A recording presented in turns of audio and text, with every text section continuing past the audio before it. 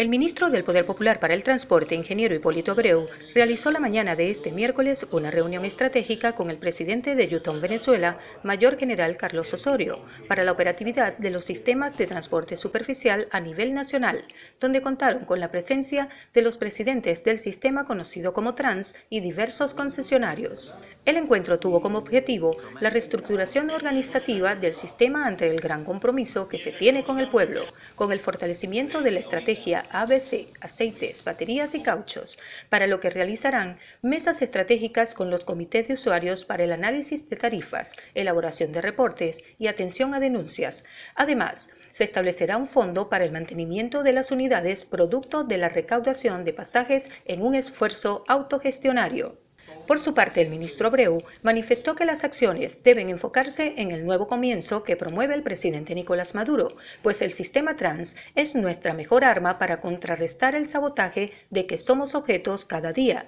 y procurar la mejor movilidad del pueblo venezolano.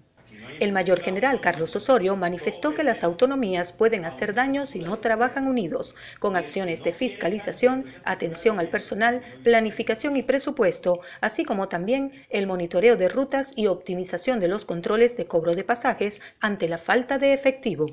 El ministro del Poder Popular para el Transporte, ingeniero Hipólito Abreu, cumple con las líneas estratégicas propuestas por el presidente Nicolás Maduro con el plan de 100 días de alto impacto para el reimpulso de la misión transporte, promoviendo así el servicio de calidad con acciones innovadoras para el bienestar del pueblo.